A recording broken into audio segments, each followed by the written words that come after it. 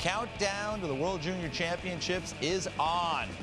Less than a month away, and you will we will have it right here on the NHL Network starting on December the 26th. Here you see a group of recent Team USA World Junior alumni. Pretty good list, Mr. Whitney, when you think about Eichel, Larkin, Matthews, Tkachuk, Keller, and White. Team USA just getting better and better as the years go on. We get kids from different states. It's exciting to see. And you were part of the World Junior Championships back in 2002 and 2003. One in the Czech Republic, one in Halifax. What do you remember about your experience?